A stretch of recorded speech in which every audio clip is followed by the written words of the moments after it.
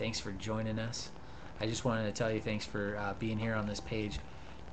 And right below is uh, written all about me and, and who I am, and looking forward to, to hearing from you. But I went ahead and just got my philosophy right down below this um, video section.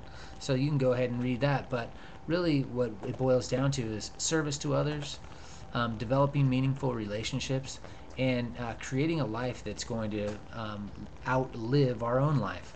So that you're going to be able to leave a legacy that's fueled by the um, the prosperity that you're able to leave for your family, those relationships that are going to continue to uh, to work t- to the end of time. Um, but certainly generations past uh, us living here. So um, that's basically in a nutshell, and uh, a lot of great things. Of course, absolutely soccer. Uh, love um, love soccer. Looking forward to playing a lot more of it. But looking forward to also hearing from you, and uh, looking forward to talking to you soon.